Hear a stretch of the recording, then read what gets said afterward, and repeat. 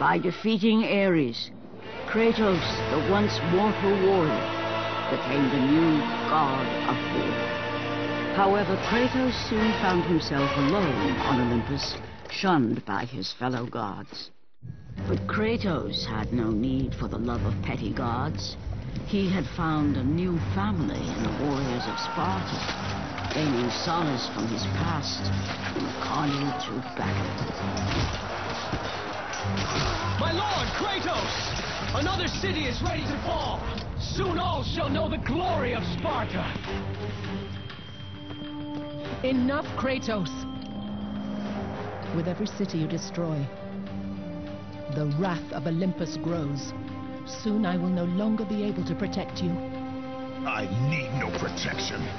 Do not forget that it was I who made you a god, Ghost of Sparta. Do not turn your back on me. I owe you nothing. Then you leave me no choice. Kratos had turned the pain of his memories into hatred. Hatred for the gods, who had refused to free him from the nightmares of his past deeds. And so he went to Rhodes to deliver the final blow to the besieged city.